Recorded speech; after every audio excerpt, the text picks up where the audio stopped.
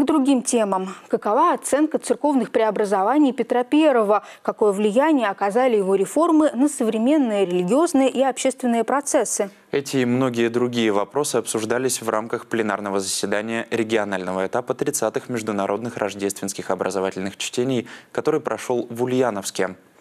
В этом году форум посвящен теме к 350-летию со дня рождения Петра I «Секулярный мир и религиозность». Рождественские чтения – это церковно-общественный форум в сфере образования, культуры, социального служения и духовно-нравственного просвещения. Форум не только образовательный, но и дискуссионный, поскольку докладчики освещают разные точки зрения на исторические и культурные события. Во Дворце творчества детей и молодежи состоялось пленарное заседание рождественских чтений, на котором гости форума выступили с приветствиями и основными докладами. Работу чтений возглавили митрополит Симбирский Новоспасский Лонгин и епископ Барышский Индинский Филарет.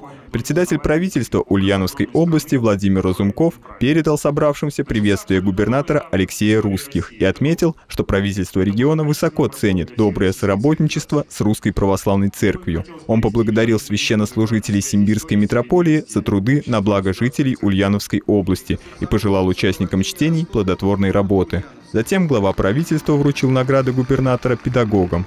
Митрополит Лонгин в своем выступлении рассказал о международных рождественских образовательных чтениях и об их основной теме в этом году. Особое внимание владыка уделил понятию «секуляризация».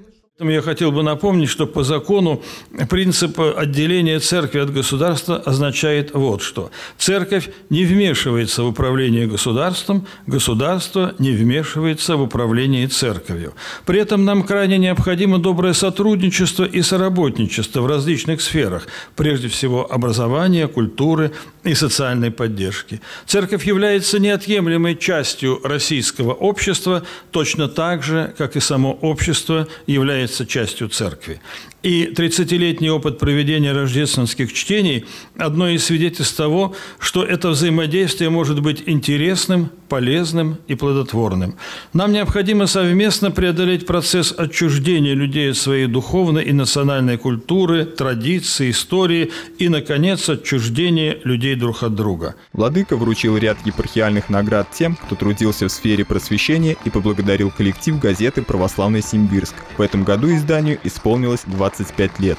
Со словами приветствия к участникам чтения обратились также главный федеральный инспектор по Ульяновской области Юрий Кулик и первый заместитель председателя законодательного собрания Ульяновской области Василий Гвоздев. Директор исторического парка в Нижнем Новгороде, кандидат философских наук Денис Семикопов представил доклад «Образ Петра I и русская революция. Разрывы и связи российской культурной памяти».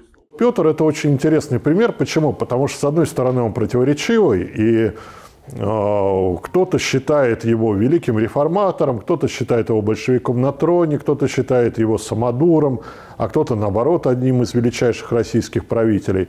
Но, несмотря на всю свою противоречивость, он не вызывает разделения.